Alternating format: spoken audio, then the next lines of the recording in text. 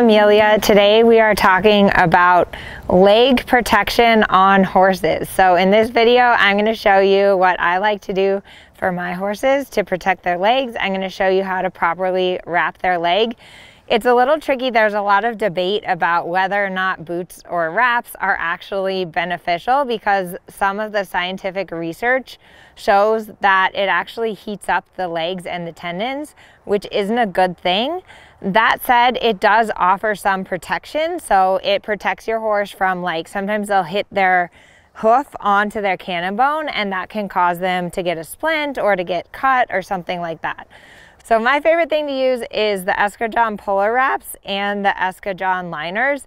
The reason that I like to use the liners is because it helps so that the tendon stays a little cooler. If you just put the Polo Wrap directly on, it makes the tendons heat up more. This gives a little more airflow underneath the wrap.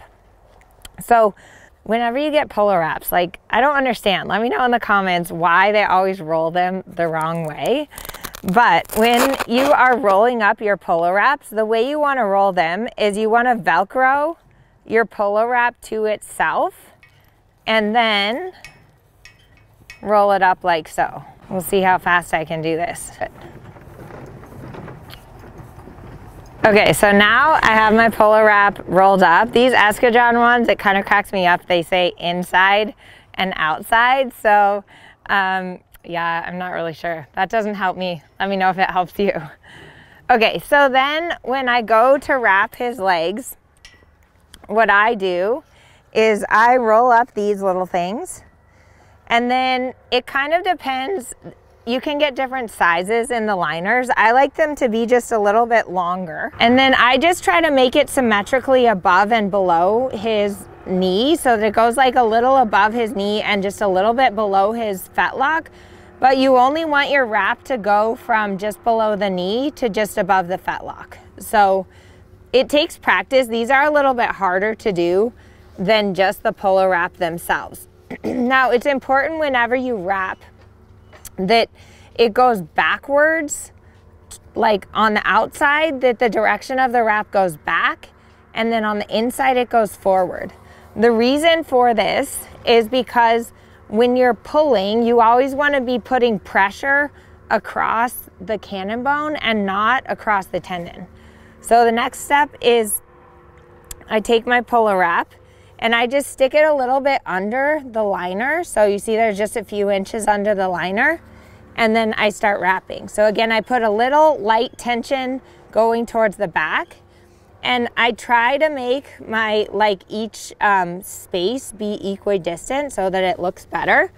So I wrap down and then I wrap to just below the fetlock. So you want to feel for the ergot and then you want your polo to just go right there on the ergot. And then you're just going to work your way back up. A lot of people, I'm not like the best of these, but a lot of people work to have like a perfect little X right there. But again, you just want to have even spacing and then go all the way back up to just underneath your horse's knee joint. You don't want to wrap over the knee joint. And there you go. Okay, so I'll show you on the right front, same thing. Depending on how long your liner is, sometimes I don't roll it up, other times I do. But get all the dirt out from under it wrap it, make sure that it's going back on the, on the outside. I put my polo wrap a little bit underneath of it and then I start wrapping. I pull just a little back when I, on the outside of the cannon bone, I pull just a little bit back with light tension because you don't want them so loose that they fall off when you're riding, obviously. And then back up. I try to make each of these spaces about even and I try to time it so that I end up just below the knee like so.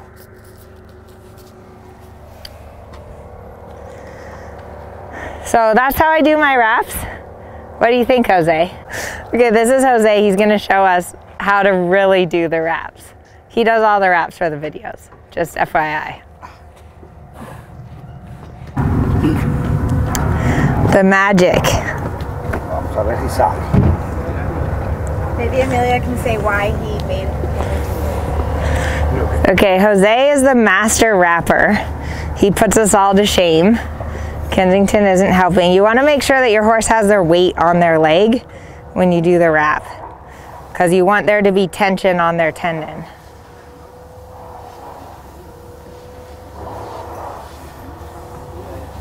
Perfect X on the front of the fetlock. Evenly spaced. Don't move, Kensington. If your horse moves around, you can have someone kind of pull on their tail and that will help to keep them steady. Que bonito. Okay, let me know in the comments if you think Jose does better wraps or if I do better wraps. De jefa. That's good. Okay, so after I wrap all four legs, then I also put bell boots on the front. The reason that bell boots help is they help for horses that overreach. So if you have a horse that forges or a horse that sometimes steps on themselves and pulls off their shoe, then bell boots can really, really help with that. So this is just kind of the setup that I use for my horse Kensington. I do sometimes use boots on days that I don't have a lot of time because it's just easier. Um, but if I'm going to like a clinic or a show or I'm doing video, I think these look really nice. And I do think that they help to give him some support and some protection on his tendons. So check out the link below. I'll link that article about boots and wraps for you. I'll also link where you can purchase the Eskadron wraps and the liners. Thanks for watching. Be sure to give us a thumbs up. Give Kensington a thumbs up for being a good model and subscribe to my channel because I post a new video every single Wednesday.